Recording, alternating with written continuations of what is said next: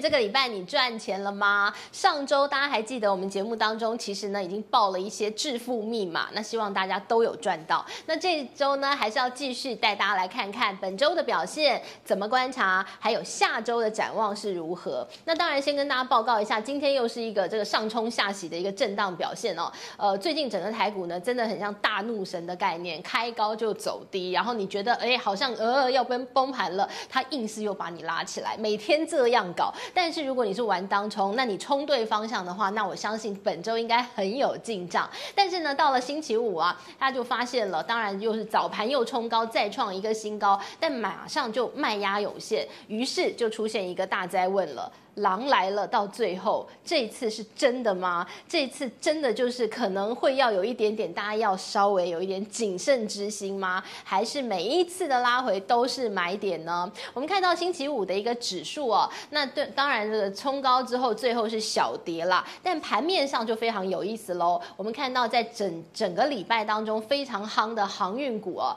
呃，这个大家说这个航向无限的航道，那这个伟大的航道，这个航运股到了星期五感觉。就出现了一点点卖压喽，我们好难得看到最后收盘航运是会跌的吧？那另外呢，像钢铁股也是冲高，哎，又通通都掉下来了。但反倒呢，如果是船产没什么表现的话，那带我们期待一下电子股。在今天盘面上，你就看到很多 IC 设计的股票，哎，好像挺有表现。那是电子要接棒了吗？所以这些问题，我们今天就请到了我们的谢明哲老师来跟大家分享。那首先呢，我们就要邀请我们的明哲老师来跟大家好好分享一下今天的大盘到底该怎么看呢？虽然说就过去两天来看的话，行情都是出现震荡的一个回撤，但目前看起来的话，还是属于一个相对比较强势的一个整理。那之所以会这样讲的一个原因，是在于说，大家可以看台北股市的技术面哦，呃，目前的一个 K D 指标其实已经来到相对高档，而且开始呈现了一个钝化，因此原本针对这个技术面，它其实就会有这种回档修正这样子的一个压力存在。再加上说，事实上在整个礼拜呃三的时候，当时我们可以看到就是。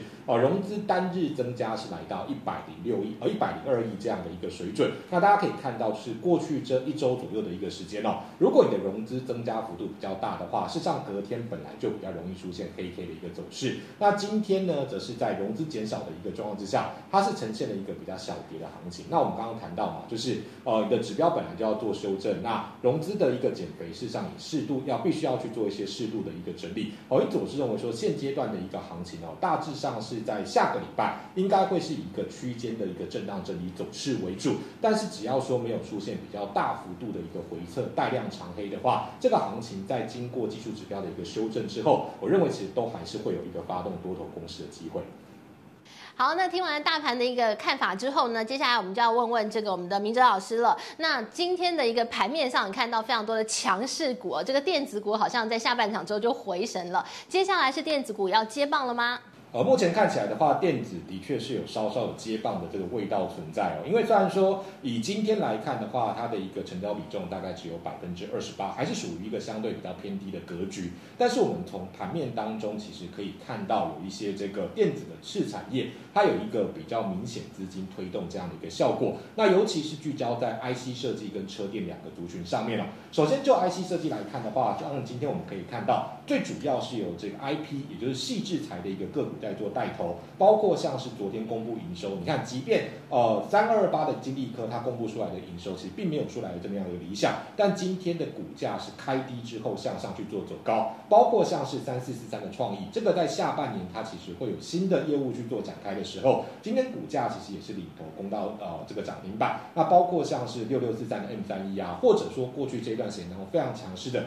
呃六七五六的一个微风哦，事实上今天我们都可以看到有这个股价表态的一个。现象，那另外的一个族群则是聚焦在呃记忆体相关的，像是三零零六的一个金豪科，事实上今天的一个股价呃也在中晚盘之后，其实往上拉抬到涨停板的一个位置，因此从过去的一个历史经验来看，当然。呃，进入到第三季，原本就是电子产业出货的一个旺季，所以就呃所谓的一个 IC 设计来讲，因为是在整个产业的最上游，哦，所以他们在整个七月份应该是会有优先受惠的机会。那大家可以稍微观察一下，接下来公布营收的这个 IC 设计个股，能不能够在六月份它就领先缴出一个比较好的成绩。那当然股价其实就会比较有续航的力道。那至于说在车电产业的一个部分呢，当然呃从上个礼拜 M H 的这个呃成立大会开始之后，事实上我们可以看到整体的这个。呃，车电的一个产业，它其实表现就陆陆续续都有去做一些表态，包括从这个礼拜的上半周是有电池个股，像是康普、像是美骑马哦去做带头，或者说像是这个车用二级体当中，我们可以看到这个八五的鹏程哦，它的股价其实在这个礼拜它表现其实都非常的一个强势。那因为下半年其实就是整体电动车会开始陆陆续续。哦，这个推出新款的一个电动车，那我想以这样的一个角度来看，车电的族群应该是也有机会在短线上面呈现续强的一个机会。呃，以现在其实已经公布营收的一个个股来看的话，像是六二三七的华讯哦，因为它公布出来的呃六月份营收是来到一点七二亿，是再度创下历史新高这样的一个走势。那最主要它其实在营收的呃之所以能够持续创新高，是来自于说哦，它在整个 PC Audio 的这样子的一个客户，它其实是有转单到它。呃，这个公司去做下单这样的一个现象，那通常呃，如果说企业出现转单的话，通呃，它不会是一个短时间的一个现象，而是一个中长期的一个配合。所以从这个角度来看，我是认为说华讯的一个股价。呃，在今天的一个股价尾盘向上拉抬，最主要其实是反映营收的利多。那随着这个股价突破了过去呃这一波的一个行情，是沿着上升轨道向上去做一个发展，而，一直呃目前看起来的话，应该都还是维持强势的格局，没有做任何改变。那除了这个 IC 设计类股之外，另外在车用电子的一个个股上面呢，当然我们刚刚谈到了这个礼拜其实最强的是康普，或者说像是鹏程等等个股。但除了这些个股之外呢，另外包括像是六二七的同心电。哦，因为它在并购呃胜利之前，它其实原本就是 CIS 影像感测器的这个封测大厂。那在并了胜利之后，其实也纳入到所车用的呃相关的一个生产线里面。那我想，呃，国巨集团在这个时间点当中，他们对于整体切入车用这一块领域，其实是发展非常的一个积极哦。所以对于同心电而言呢，虽然说过去从上个礼拜的行情开始，陆陆续续出现的连续性的一个黑 K 回档，但今天的一个股价开始有这种所谓谷底翻扬这样的一个味道的时候，我觉得大家也可以稍微留意一下它在下个礼拜整体股价的表现。那第三个则是在于今天我们可以看到 Mosby 的一个相关个股，它也有同步出现转强这样的一个态势。那实际上呢，呃，最主要不是 Mosby 这个哦零，哦这个产业有出现比较明显的这个转机，而是来自于说，因为他们产品特性的关系哦，他们。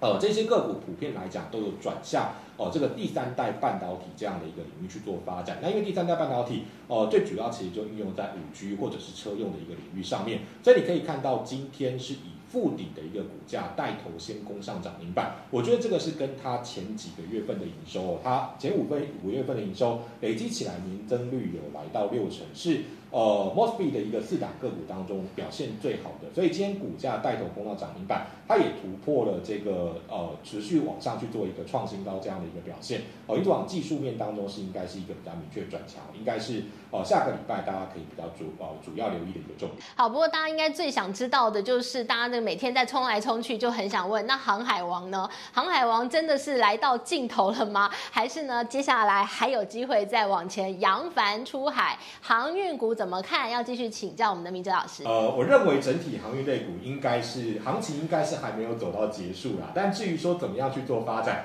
呃，大家在下个礼拜可以锁定治愈的大世界。盘面上，我们看到最近两天哦，那么这个塑化股也是异军突起了哦。那当然，这个塑化股呢，大家通常会觉得好像有点后继乏力。今天怎么呃，最后盘中就通通大猪小猪落玉盘了？那塑化类股呢，到了下周还会有续航力吗？我们要请教我们的小胖老师。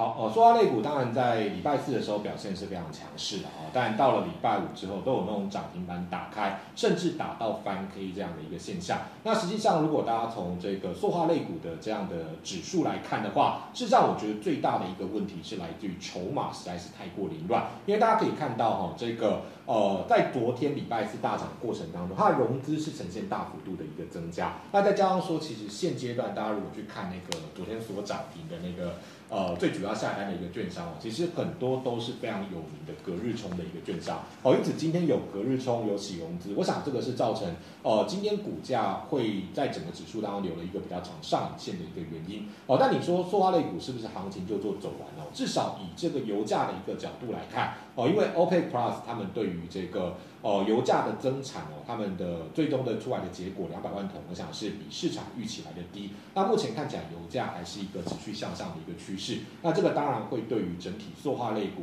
哦，能够提供一定的一个下档的保护。那只是说筹码比较凌乱的状况之下，呃，下个礼拜的一个行情可能会是偏向中所谓的震荡整理为主。下个礼拜的一个行情，刚刚我们有谈到嘛，就是你指数的一个部分可能要针对技术面做这个。呃，技术指标的一个整理哦，所以它会是一个比较区间的一个震荡走势，但在整个盘面当中，还是有几个比较大家可能要留意的重点，是在于。呃，包括七月六号联发科哦，这个 IC 设计当中最重要的指标性个股，它要去做除息呃除权息这样的一个动作，那能不能够快速去做一个填息哦？我想这个其实也牵动到哦，我们刚刚所谈到的 IC 设计类股在下个礼拜它整体续强的力道能不能够去做延续？那当然在下个礼拜还有一些比较呃重要的一个经济数据，包括像是七月八号这个 FED 会议记录会去做公布，那当然他们之前已经有谈到，就是先。呃，维持这个所谓购债的一个规模，那呃升息的脚步可能没有来的这么快，但最近期其实我们可以看到，呃陆陆续续有一些声呃声音呢，包括像是 IMF，他们也希望说，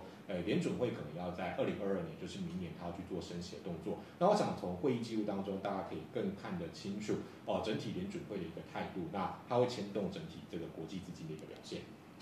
好，那么我们刚刚听到了明哲老师跟大家来分享哦，那么多个股大家的一个看法。那当然呢，这个刚明哲老师有给大家一些致富密码哦，电子股下个礼拜会不会有机会接棒船产来表现呢？不过呢，这个航海王，如果你已经搭上船，你不用太紧张，因为呢，这个我们看到老师觉得说，哎，应该还没什么太大问题，顶多整理一下、晃一下，你就当做遇到一点点。风浪好了，别太紧张。那另外呢，像今天如果你有去追塑化套到的，那就下礼拜来看看震证会不会有机会让你解套喽。那当然呢，下礼拜其实有很多重要的公司哦，有这个除权息的一个这个时程表，那我们可以持续来关注喽。那当然希望大家下周都可以赚大钱。今天非常谢谢大家的收看，拜拜。